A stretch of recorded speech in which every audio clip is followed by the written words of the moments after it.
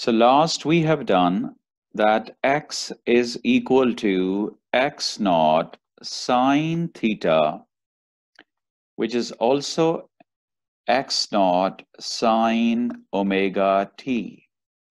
This is the equation between displacement and the time. Next, velocity is equal to x naught omega cos theta rv is equal to x naught omega cos omega t. This is the relation between velocity and time and the next acceleration is equal to minus x naught omega square sine theta, which can be written as minus x naught omega square sine omega t. So these are the important equations for simple harmonic motion. But to prove the simple harmonic motion in the oscillating object, we must prove that A is equal to minus x omega square, mean A directly proportional to x, but opposite in direction. So this is actually the equation which tests the simple harmonic motion in the oscillation of the object. तो ये बेटा test है, ये equation fit आ जाती है उसके अंदर so it is simple harmonic motion. So the topic of the day is examples of the simple harmonic motion. So example number one, it is simple pendulum.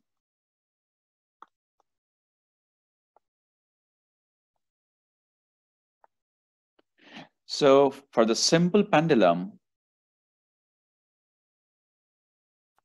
we can draw this pendulum. This pendulum is under the effect of, under the influence of two forces. One is tension up, other weight down. So in the equilibrium, tension is equal to weight, mean tension is equal to mg. But when this pendulum starts oscillation, so this is the path of the pendulum.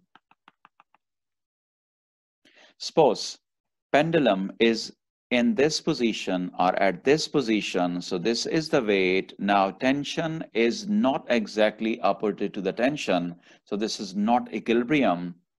This is the angle of the displacement from the equilibrium line. So when this tensile line is extended, this angle is also theta. So component of the weight adjacent to the angle is x component. And then here is the y component, wy. When weight is resolved into its component, x component is balancing the tx so Tx, uh, sorry, T is equal to Wx. So tension is balanced by W cos theta. So it is balanced, but the problem is this Y component is unbalanced. So we will write this Wy is unbalanced no force here at the back of it to balance it. So it is unbalanced.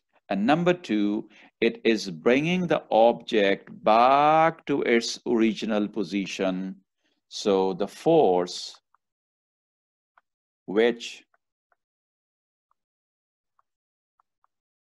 brings the displaced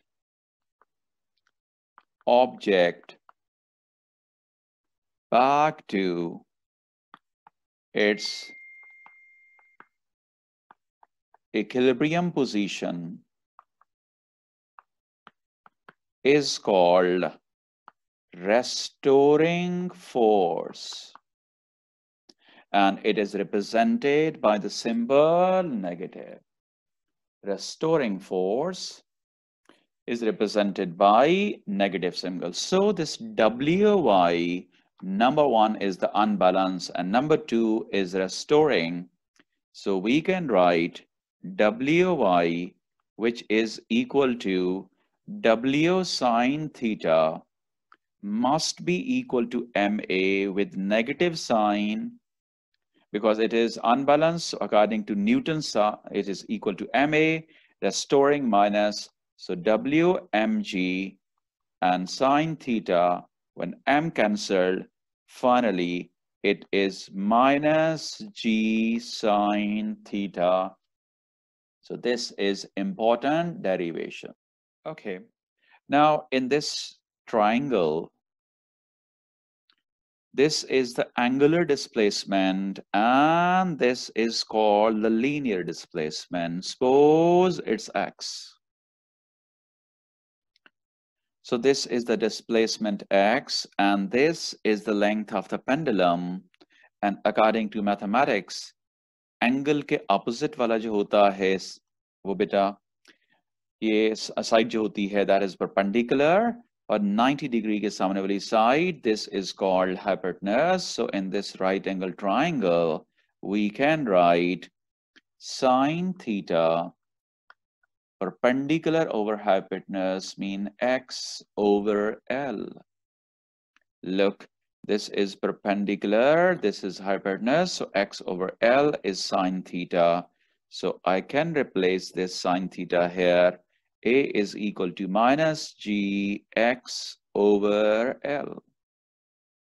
Now, A is equal to minus x g over L G constant, L constant. So when this portion is constant, then we can write X and A directly proportional, but opposite in direction. Hence, simple harmonic motion is produced because this pendulum oscillation is obeying the definition of SHM.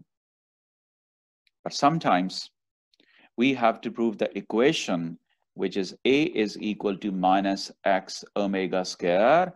For this particular equation for the simple harmonic motion, we will write time period of the pendulum, which is 2 pi under root L over G.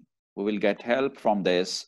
So it can be written as T over 2 pi under root L over G when under root is cancelled, so t over 2 pi whole square, it becomes g, uh, sorry, it becomes L over g.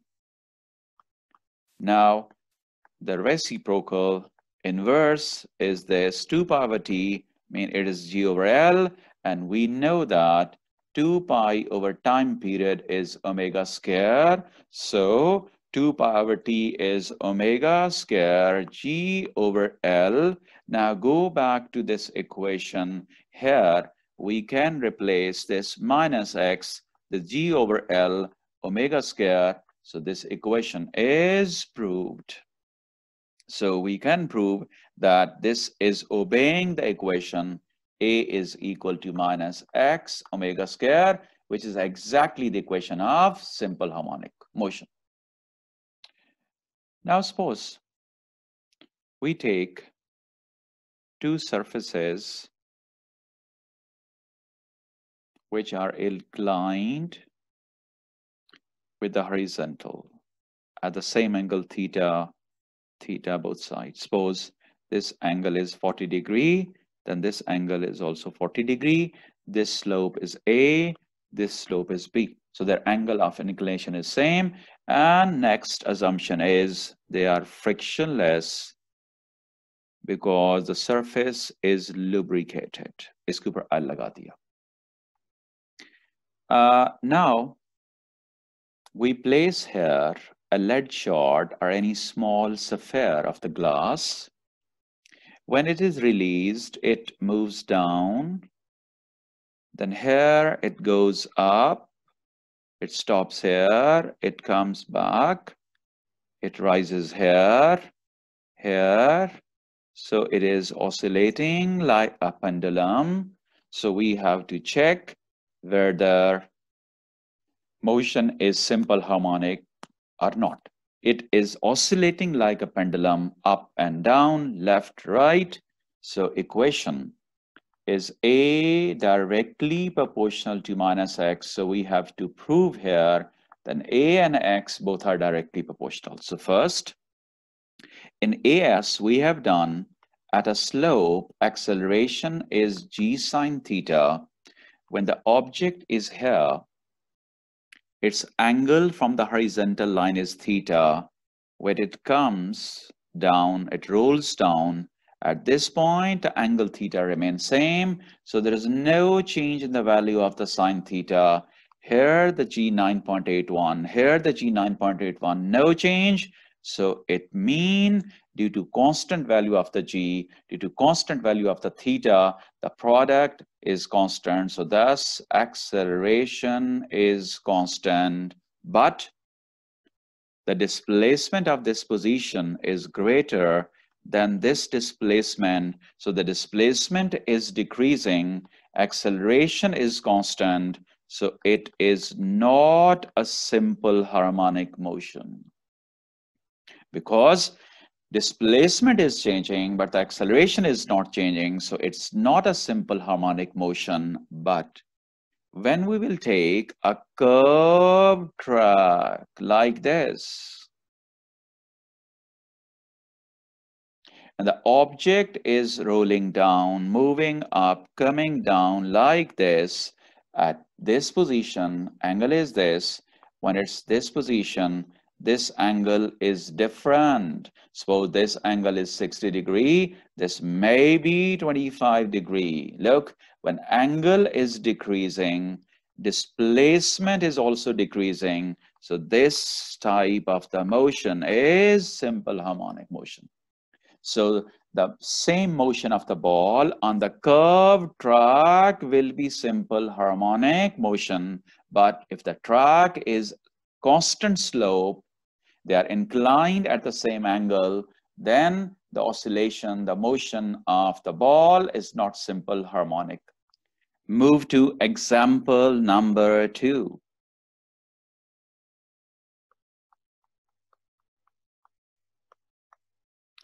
Suppose this is a helical spring its initial length is L, I mean unloaded length is L. And then, I mean after measuring its length, it is loaded with some load and make sure that the limit is not exceeded, which is called the limit of proportionality is not exceeded then this gap, this vertical gap is called the change in length. जिसको आप लिख सकते हैं बेटा extension. Now, according to Hooke's law, F is equal to KE. so we can replace this F with the load K delta L, extension delta L. So we can write mg k into delta L. Now, it can be written as G over L is equal to K over M. So this is a ratio between K and M and G over L, delta L. Now go back to the previous equation. G over L is omega square so delta L is also a length. So we can replace with omega square. So number one, omega square is equal to G over L. When the pendulum length is given, if the object is rotating in a circle, then it can be written as G over R. Length is replaced with its radius. And number two, omega square also K by M So this omega angular speed depends on the four factor G, number two L, number three K, number four M. So do remember if G is constant, L is constant, R constant, K material constant, M constant, so there is no effect on the angular speed. So angular speed depends on these four factors. So when angular speed depends on four factors, then the time period and frequency will also depends on these four factors. So beta, time period हो frequency हो omega हो G L K M पे depend करती है। इन चारों में से किसी को आप चेंज नहीं करते तो टाइम पीरियड सेम रहेगा। Look when the pendulum is oscillating in your experiment you are not changing length you are not changing the mass of the bob you are not changing the material of the thread and material of the bob right you are not changing the length so the time period remain same बेशक आप दूर से छोड़े नजदीक से छोड़े time period remain same because the time period does not depend on the displacement it depends on these four factor G, L, K, and M. Okay, next. Now this loaded spring is further pulled down with extra force.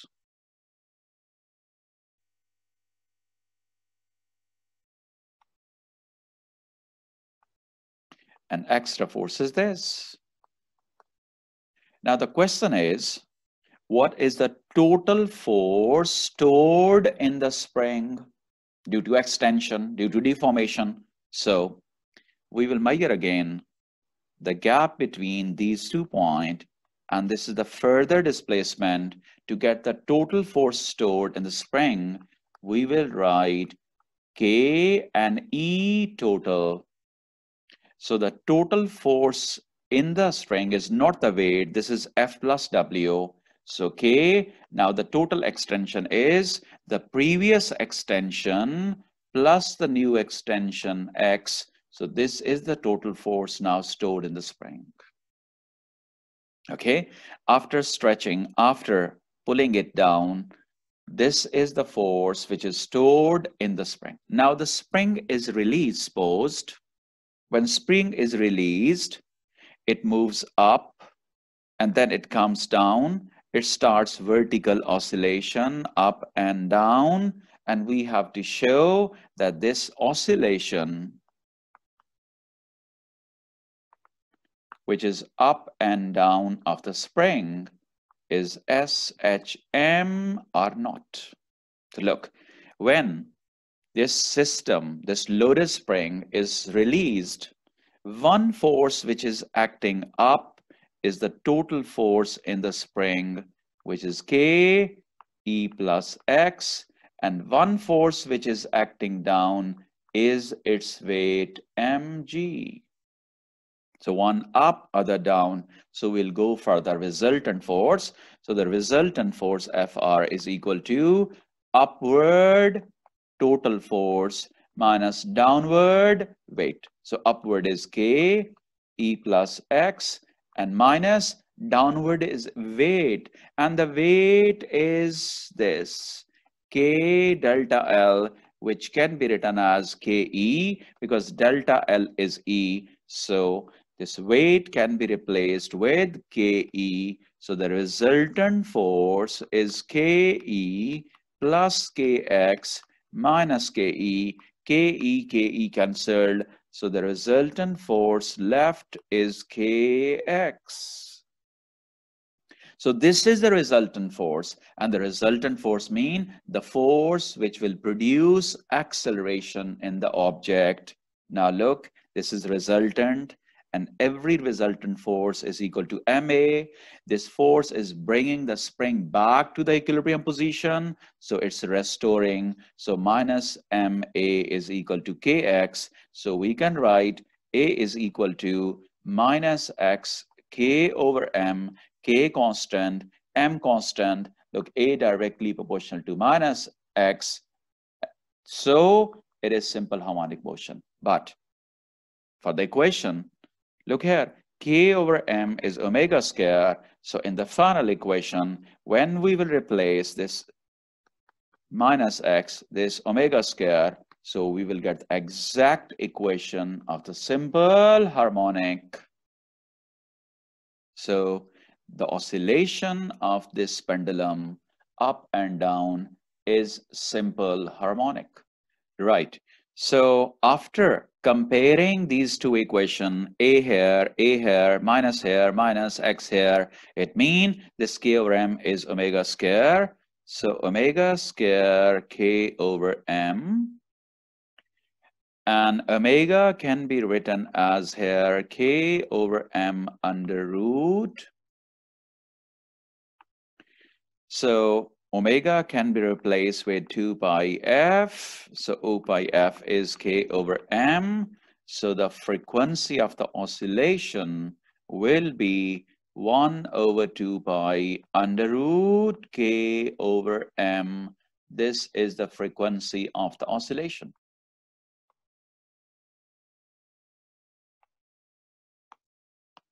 Yes, any question now? यहाँ से start किया बेटा। Example number three और जरा check करें।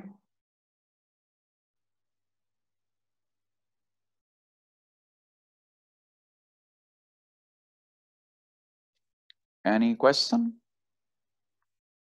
पहले के one के टू उसको इक्वल रखा, फिर ट्रॉली को एक्सटेंड किया। एक साइड पे एक्सटेंशन ज़्यादा, एक साइड पे काम, और फिर रिजल्टेंट फोर्स निकाली। रिजल्टेंट फोर्स बनी ये वाली चीज़।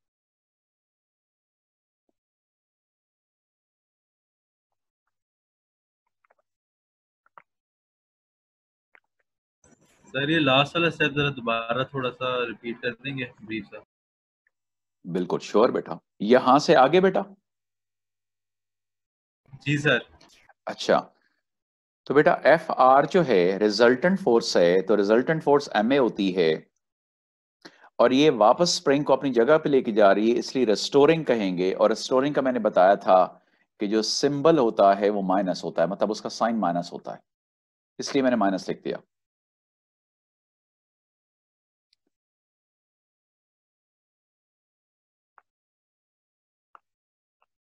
जी। अब उसके बाद बेटा, मैंने ए को इधर रखा माइनस एक्स एम को इधर डिवाइड कर दिया के वन के टू डिवाइड बाई एम कर दिया। अब के वन और के टू मिलाएँगे तो एक और के ही आएगा ना। पाँच भेड़ों और चार भेड़ों को मिलाएँगे तो आपके पास नाइन शीप ही बनेगी ना गोड तो नहीं बन जाएँगी ना। तो मटेरियल तो वही होगा ना कांस्टेंट ही होगा ना।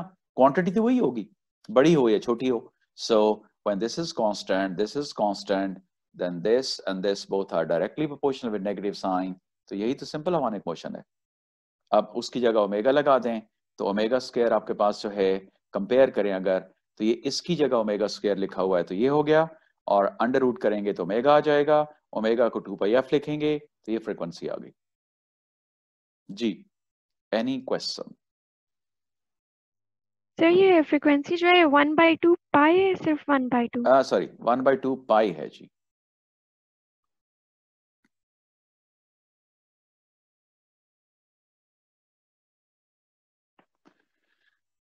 जी, नहीं है क्वेश्चन आगे चलते हैं जी, थोड़ा सा और पढ़ना है।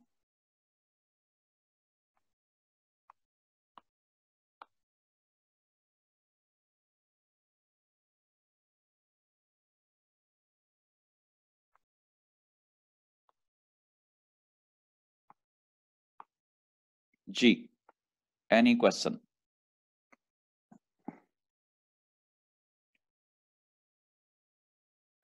है कोई? नहीं है?